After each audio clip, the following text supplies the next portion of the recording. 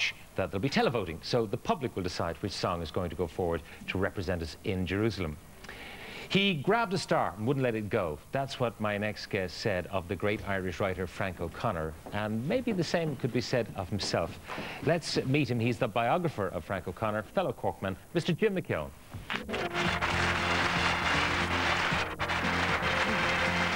Hi, Pat. Jim, you're very welcome. Frank O'Connor, the man. I don't know too much about him. Read, of course, short stories and so on. What introduced you to Frank O'Connor? Well, he always fascinated me, uh, Pat, even as a, as a young lad. Uh, I felt, as you said, he grabbed the star and just wouldn't let go. You know, he had a terrible childhood, uh, terrible deprivation, poverty, drunken father, and yet against all that, uh, no schooling, four years in school, and he, uh, he was determined to make it, and he eventually ended up uh, like a, a literary great. What age was he when he left school? 12 years of age. He, um, he was going to the Mon, but he was a bit of a disaster. And um, amazingly, he was quite poor at school. And at 12 years of age, the uh, Christian Brothers, they, they kind of invited him to leave. So, and that was the end of his formal schooling. That's Never right, had yeah. any more. That's right. And I mean, he, he taught himself perfect Irish, German, French, and he could read Russian, which is utterly amazing. So he was a bit of a genius, although unrecognised by the brothers at the time. He was, yeah. But he was a bit of a mother's boy as well, because His he- mother was Minnie.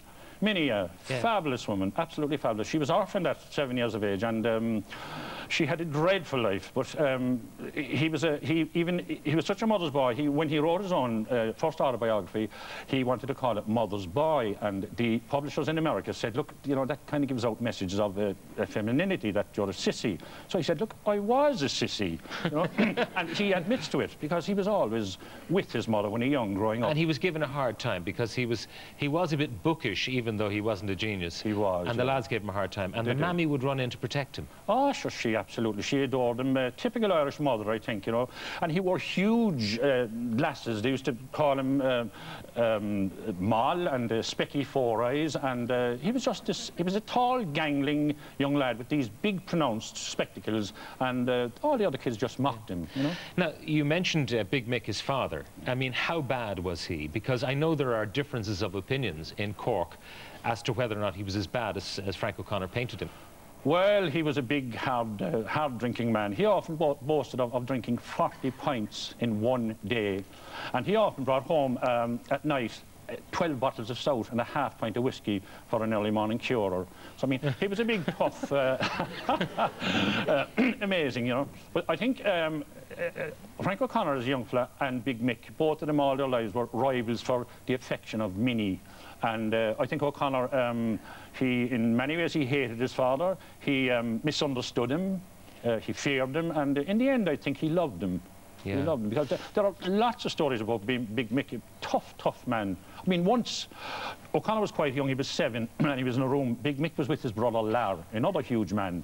And they had an argument, and Big Mick took the poker out of the fire and lashed Lar across the face. And some men were telling me when they're young, they used to ask Lar where he got the scar, and he said it was in the First World War while he was uh, fighting a German, you know.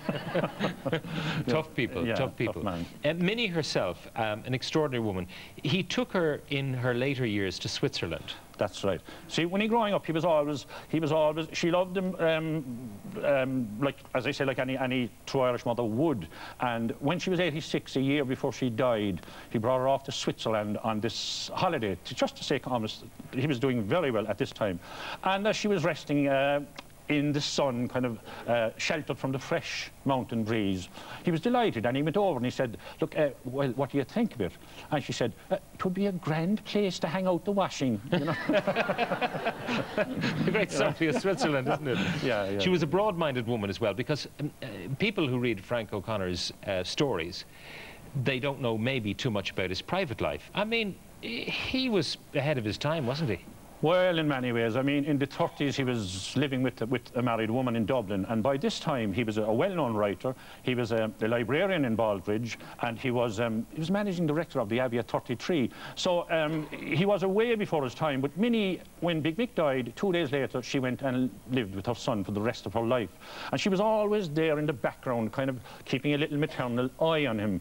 And um, as I say, she just took it all in and accepted, uh, I mean, for instance, once once um, he went off to England and had a bit of a fling with a woman, and um, she was pregnant. And now they were wondering, Evelyn, his wife, invited Joan, the, the, the lady, mistress and the baby, back to Dublin to, to recuperate. She wasn't well. And uh, they were the wife invited the mistress and, and Frank O'Connor's baby yeah, to live with them. To live with them. Okay. I mean, that wouldn't be tolerated in California in the 90s. so, um, but they were, they were kind of saying, look, how will we tell Minnie? So they were saying, um, look, uh, it's, it's an old friend and her husband was killed during the war and uh, she's coming back to recuperate. But when uh, Joan arrived that day at, in Strand Road, before any kind of awkward introductions had begun, uh, Minnie just took the child in her arms and she looked and she smiled at her son and she said, God, he, he's the image of you. I mean, she, she, she and knew. That, that she was knew. the end of that. She knew. Um, we've talked about Frank O'Connor leaving school at the age of 12, and yet he's managing director of the Abbey Theatre at 33. Yeah. Now, what was it that enabled him to make that breakthrough from maybe being a no-hoper? I mean, who gave him the leg up? What was, what was the event in his life that changed things for him? In, in what context? In, in, well, I mean, he was a volunteer. Was it, was it actually being a volunteer and uh, kind of the, the going into prison, being educated in prison? What was it that actually gave him... Um, I think he was always quite determined. He got very disillusioned with the Civil War and with these kind of um, martyrs, people who wanted to die for Ireland, because even when he interned, no, there was a thousand men there. He was only 19, and he refused to go on hunger strike. One boy against a thousand men. He was a terribly stubborn young man, and he saw a lot of young people being shot by, by their own, so he became very, very, uh, very, very anti, anti-war as such. But I think it was AE first when he was introduced to George Russell, and then he gave him his first break, and then he became uh, he became very friendly with Yeats, and Yeats had had great time for O'Connor. But like a fellow without any formal education becoming a librarian. That, well, that was unbelievable because he went for an audition with Lennox Robinson, who was the, the, the Cork playwright, who was the head of the library, and he, he got the job. And um, he got a job in Sligo, his first job, and his mother packed his little suitcase and she put in a, he was excommunicated when he was 19 with all the other Republicans. She put in a, a big holy picture of the Sacred Heart into his case and he set off for Sligo. It just shows the mother's love again when uh, every week O'Connor used to send on, post on his dirty laundry down to Cork. and it gave Minnie a sense of still having uh, her little boy, as it was. Yeah. And she used to wash it and send it back with a half crown for himself. And I mean, she starved herself for him. You know? And then he moved on to, on to Wicklow, where there was a, a, a new library being opened. And no, he, O'Connor, first and foremost, wanted to be a poet. He hadn't written that much at, at this time. He was only barely 21. And uh, very disillusioned. There was nobody coming into his library looking for books on poetry. And one day, this uh, farmer came into the library and he said, um, uh, could you tell me where I'd get a book on poetry, please? So O'Connor was delighted. Poetry. So he said, over there in the corner is the poetry section. So your man went over and he was looking away for about 10 minutes at all the books and he came back again to O'Connor and he said, look, th there's nothing over there, only a load of books on poems and sayings and all that kind of bloody stuff. So O'Connor said, I, I thought you were looking for a book on poetry. So your man said, no, poultry, he said, chickens, out of me way. but, as he going out the door, he turned and he said, Shakespeare me bollocks. Excuse my French, but I mean, can you imagine him going in and, and, and, and uh, his cock sick, or sorry, his, his chicken, I have got to rephrase that, his chicken sick and, and there was books on Shakespeare, you know. Yeah. O'Connor was absolutely shattered.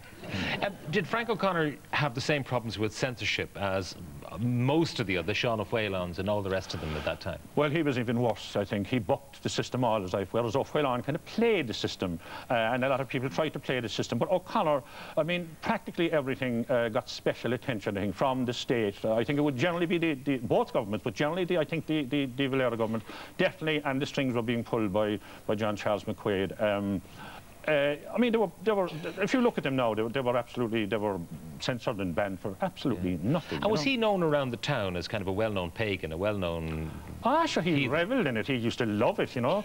I mean, he really gave the uh, the proverbial V sign to the establishment. He was always fighting with with, with the state, the uh, censorship board, um, uh, even eventually the library service. They took they took all his um, what I call his European books. He tried to make it very European and open, and he was way before his time as a librarian because um, he introduced bright children's departments, uh, choirs, um, brought in well-known personalities to tell stories, uh, way, way, way before his time.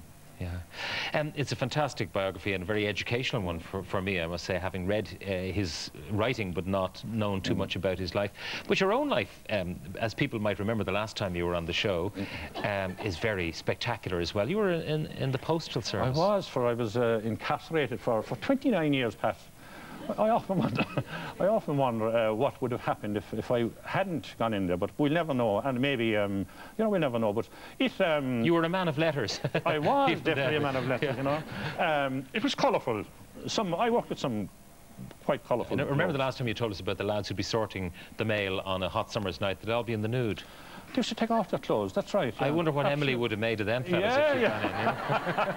gone in. anyway, um, uh, I know that you're, you're very busy at the moment.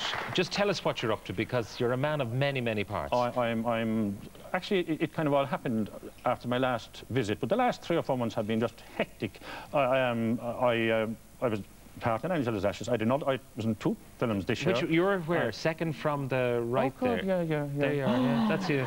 It's just like the firing squad, isn't it? Yeah, yeah. And what part do you play in Angela's Ashes? I'm, um, I think typecast. I'm a, I'm a middle-class gentleman. You know, I was supposed to be a priest first. You know, um, uh, I met. Um, for what it's- I met uh, Frank McCourt and I was telling him, and he said, "You have the face of a fat, contented Catholic priest." so I don't know whether it was a, was, a, was, a, was an insult or or, or, or Yeah, there is a scene in the book where there's a priest uh, going to a sick person on a bicycle That's with right, the, yeah. the Eucharist uh, right. under his coat on a bicycle and, uh, you know, looking at the children, poverty, like right. staring him in the face and not doing anything. But I, and I would have loved to be a priest. You know, I, I, I'd do anything for an All Ireland ticket.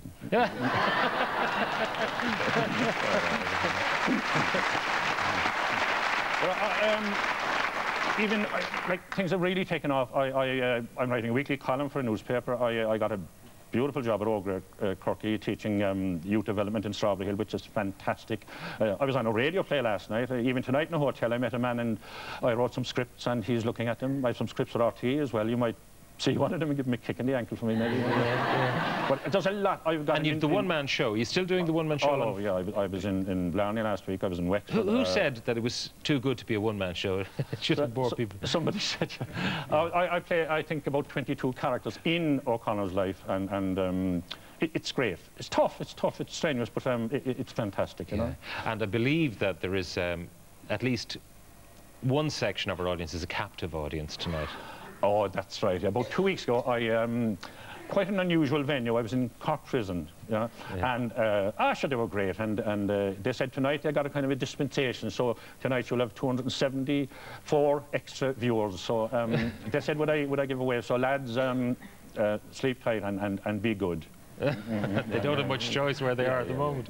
Look, Jim, um, I think you're a fantastic man. You're a bit of a renaissance man, and all the more having abandoned the, the safe, secure job in the post office to become uh, much more a man of My letters than ever wife before. still thinks I'm a lunatic. You know, but, And she mightn't be far wrong. Jim McKeon, thank you very much for being with us tonight. Thank you. a million. stay here. Yeah, you can just relax there and we finish the show. Okay. Okay.